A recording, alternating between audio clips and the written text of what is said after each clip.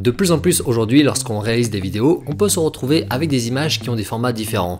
Des vidéos horizontales, mais aussi des vidéos verticales, et pourquoi pas même des photos en format 4 tiers par exemple.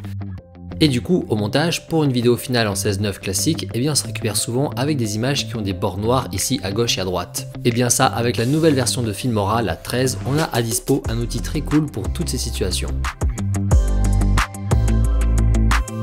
Salut à tous, c'est Nico pour Wondershare Filmora France, j'espère que vous allez bien. Aujourd'hui, on continue de découvrir ensemble les nouvelles fonctionnalités de Filmora 13. Dans cette vidéo, je vais te présenter un nouvel outil de Filmora 13 qui va être très pratique pour faire ça. Passer d'un affichage très banal d'une photo ou d'une vidéo verticale avec des bandes noires comme ici, à ceci, un joli rendu avec la même image en arrière-plan grossi et flouté. C'est ce qu'on appelle régulièrement une Marie-Louise, rajouter quelque chose en fond histoire de remplir tout le cadre. Cet affichage, vous le voyez très régulièrement pour des émissions de télévision, pour des journaux télévisés, etc. Notamment très utile pour des images d'archives ou des images prises avec le téléphone. Et eh bien ça, avant Filmora 13 et encore sur beaucoup de logiciels, c'est toujours un petit peu long à faire parce qu'il faut le faire manuellement. Effectivement, jusqu'à présent, voici comment on devait faire pour créer ce visuel. Il fallait dupliquer l'image, poser sa copie en piste 2 par-dessus, puis sur l'image 1 zoomer fortement pour qu'elle occupe tout le champ derrière, et enfin appliquer un flou sur cette même image de fond. Beaucoup d'étapes.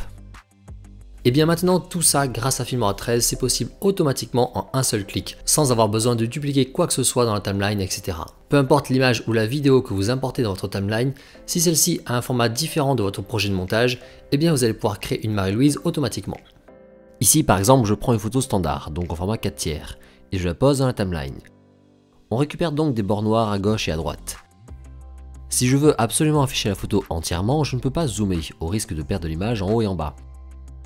Donc il faut la laisser comme ça. Pour faire plus joli, je souhaite donc créer un arrière-plan flouté de cette même image. On n'a donc plus besoin de le faire manuellement, et ça va me prendre 5 secondes. Pour créer ce rendu, je sélectionne mon image, puis je vais dans les réglages ici, dans Basique, et là tout simplement j'ai la nouvelle fonction arrière-plan. Je l'active et bim, instantanément j'ai un arrière-plan flouté de mon image qui s'est créé, remplissant ainsi délicatement toute mon image. Et ça bien sûr, ça marchera également pour une vidéo, verticale par exemple. Je l'insère dans la timeline, mon film étant en 16.9, j'ai donc des barres noires sur les côtés, je vais dans vidéo puis basique, j'active la fonction arrière-plan, et hop, voilà ma Marie-Louise. Et lorsque je fais lecture, on a vraiment la même vidéo en dessous en flou, donc ça bouge pareil. Mais ce n'est pas tout, avec cette option arrière-plan, on peut donc créer de base un arrière-plan flouté, ça ok, mais si jamais on veut un autre style de rendu, comme ça par exemple, un encadrement avec un motif plutôt, eh bien on peut le faire également. L'option arrière-plan nous met en effet à disposition pas mal de petits réglages bienvenus. Déjà quand on choisit flou, Filmora nous propose ensuite plusieurs styles de flou différents, basique, directionnel, granuleux, etc. Vous pouvez également ajuster la force du flou ici en dessous, très pratique. Mais surtout, on a donc le choix dans le type de notre arrière-plan, le flou n'étant pas la seule option. En déroulant ici le réglage type, on voit également couleur et motif. En mettant couleur, on a ensuite le choix parmi toutes les couleurs possibles. Par exemple, si je veux créer un arrière-plan blanc comme ça, eh bien je peux. Et puis on a donc motif. Avec ce type, Filmora nous met à disposition un bon nombre de textures dans des styles très différents, histoire de coller au mieux à l'ambiance générale de notre vidéo. Un arrière-plan style Matrix ou plutôt papier, bref, on a du choix.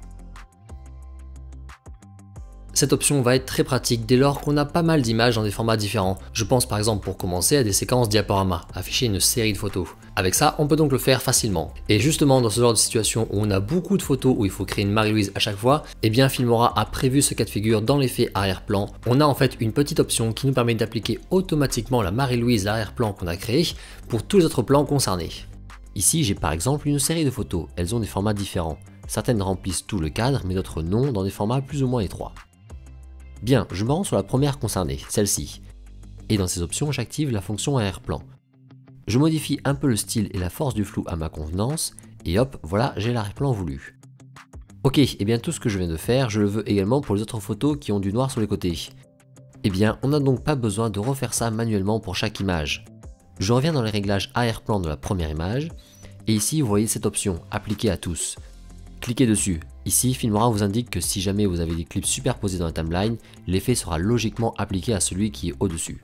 Faites appliquer, et maintenant c'est tout bon. On a notre arrière-plan personnalisé qui s'est appliqué à toutes les images.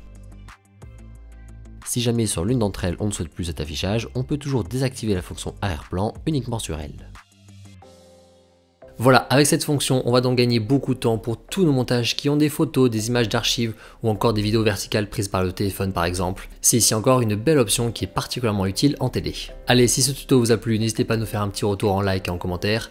Je vous laisse également aller faire un petit tour sur la chaîne pour découvrir toutes les autres vidéos concernant Filmora. Je vous souhaite de bons montages et on se dit à la prochaine. Ciao